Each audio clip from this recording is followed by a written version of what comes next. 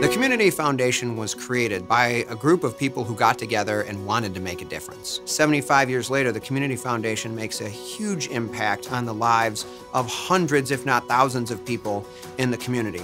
All started with the small but promising beginnings of just a few people who wanted to do something good.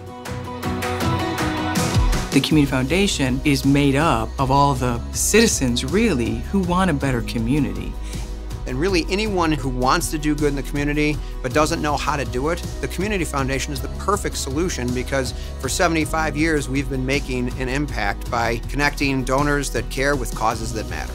So it's multifaceted and it's an organization that isn't there just to serve a certain small constituency or a special need, but rather the community as a whole.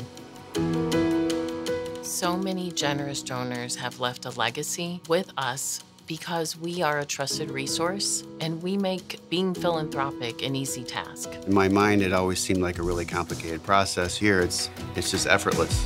The Community Foundation does all the administrative work for you. I just make a phone call, they're on it, they, they get back to me right away. It's been seamless. Our scholarship program is just incredible.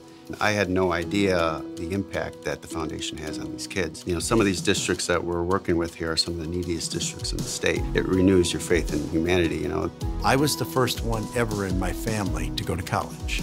The scholarship from the Community Foundation has impacted my life and my wife's life in many ways. As you can see, it still brings a tear to my eye. Without their assistance, we can't do the work that we are meant to do for the citizens of the Fox River Valley community. You can invest your money in people. You invest it in people, and you hope and believe that the return will be great. Someone opened the door for you at some point in your life, and it's incumbent upon you, it's your duty to help open the door for others, and you do that through service.